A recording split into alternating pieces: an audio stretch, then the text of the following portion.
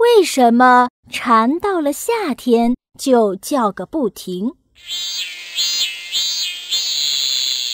哎呀，吵死了！休息一会儿再写吧。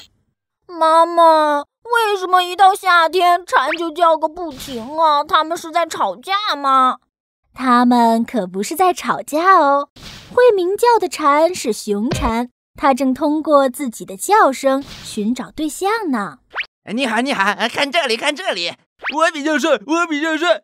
妈妈，那蝉在冬天为什么都不叫，只在夏天叫？难道蝉在冬天就不找对象了吗？你们好呀。太冷了，我们夏天再见吧。不是这样的啦，蝉不在冬天鸣叫，是由它们的生活习性决定的。蝉的生命一共有卵、幼虫、成虫三个阶段。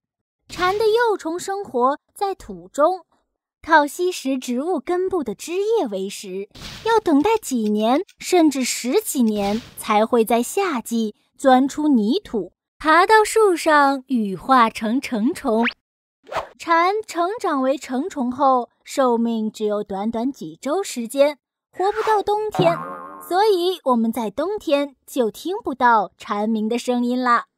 呃，可是它们这样一刻不停的鸣叫，嗓子不会哑掉吗？蝉在鸣叫的时候用的可不是嗓子，而是腹部的发音器。蝉的发声器就像一个大鼓，称作鼓膜。在蝉鸣叫时，声肌收缩，带动鼓膜振动，发出声音。声音会在盖板下的空间里产生共鸣，所以蝉可以轻松地发出连续而响亮的鸣叫声。想不到蝉居然是这么鸣叫的，真厉害！嗯，不对，我怎么还佩服起它们了？吵死了！